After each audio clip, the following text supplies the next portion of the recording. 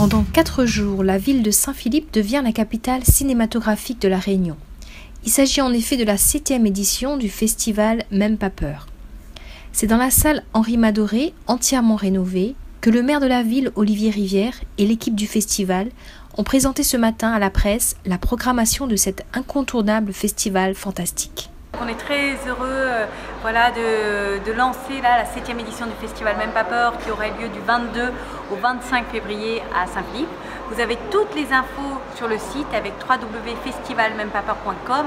Ce qui est important de dire, c'est que comme depuis la création, le festival est entièrement gratuit pour tous, ça c'était vraiment une volonté euh, de monsieur le maire euh, de Saint-Philippe, de maintenir cette gratuité, de créer un événement qui, où la culture, en fait, qui est pour but de démocratiser la culture au plus grand nombre et que la barrière financière soit pas du tout un obstacle à ça. C'est vrai que c'est un festival qui est né il y a un peu plus de 7 ans maintenant, qui a mûri dans l'esprit euh, d'Aurélia Mangin, qui est la directrice du festival.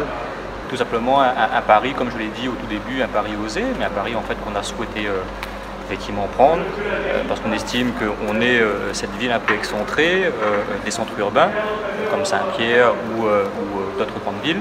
Et, moi j'estimais en fait que la population saint-philippoise méritait aussi, tout autant en fait que les populations de, Saint-Pierre ou, d'autres grandes villes, d'avoir précisément un, festival de films, avoir la possibilité d'échanger avec des invités du festival sur ce qu'est le 7e art.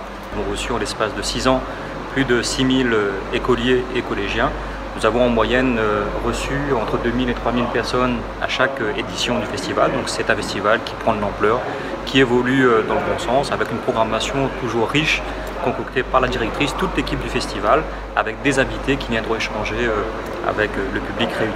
Je sais que ce public sera nombreux dans le cadre de cette septième édition qui se déroulera du 22 au 25 février.